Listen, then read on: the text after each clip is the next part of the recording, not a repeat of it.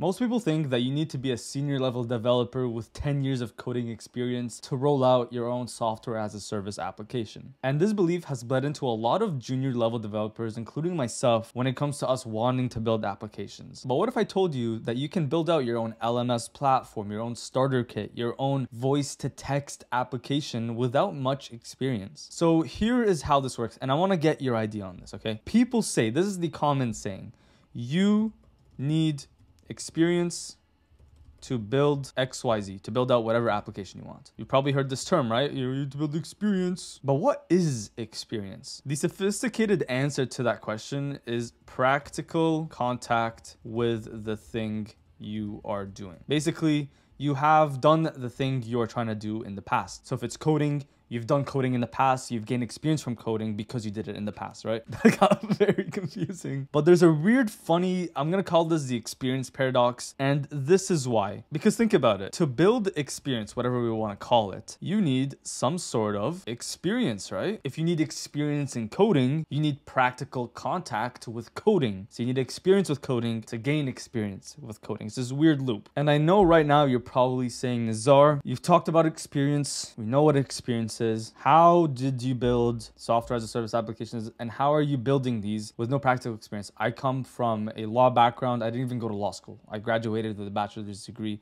It's a shitty degree. And the secret, right? The secret to how I'm building applications is let me just go down here. It is, okay, very simple and very sophisticated as well. It's to build shit and improve at it. And you know what? I'm gonna keep it PG today. Keep build stuff and improve at it. Jesus Christ. Stuff. There you go. Let's say you build out your first application, okay? It will freaking suck. But if your goal is to build a software as a service app, a business, something to make you money, right? Obviously, your first thing is gonna be bad. But as you build experience, as you improve at code, as you're doing more and more projects, naturally, naturally, naturally, you will get better just based off the laws of improvement, you could say. And you will find yourself at a certain point, maybe it's your eighth project, fifth project, 20th project. I don't know what it will be, but you will notice a significant improvement from this, which was probably a really shitty to do app that had one feature. But because you built experience and you built stuff, right? Because you built stuff and you improved at it, the project over here will look so much better and so much more polished, you could say, compared to this one because you went through the process of learning and, and applying and improving in each different project. And what you did really is you kind of cheated the system where you built experience without experience, but you built it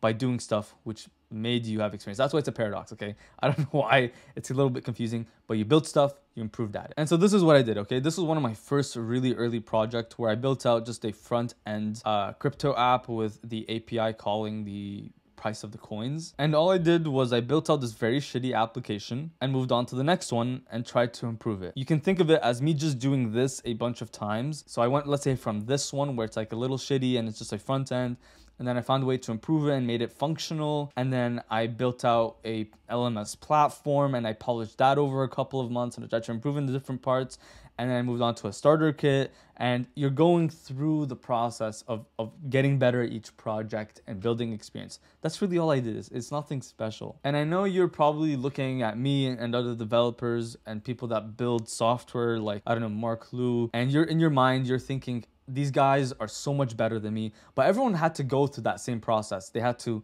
you know learn code build shitty apps non shitty apps build okay apps build really good apps you know? And i'm not even saying this is a good application. It probably has a lot of bugs. There's some things i'm trying to solve. And i know this is a lot easier said than done because building stuff is already hard enough and you know the process is a little bit more difficult. But this is basically all i did to build stuff and how i'm building apps with no experience. And i promise you as you build up more experience like we talked about from building building other things, you will find it so much easier to build the apps that you want and have the practical knowledge to do the stuff that you really want to do. But yeah, if you want to build some cool stuff on my learning platform, there's some free courses there. Like we have like a front end analytics dashboard and I'm going to make it full stack really soon, I promise. There's a Stripe payment one where like you can build out a fully functional uh, Stripe payment system in your uh, React or Next.js app. And also, if you want to join a Discord server, I'll leave that down below. And if you like this video, check out the video on the screen. You'll probably like it as well, okay? Happy coding, and I'll see you in the next video. Bye-bye.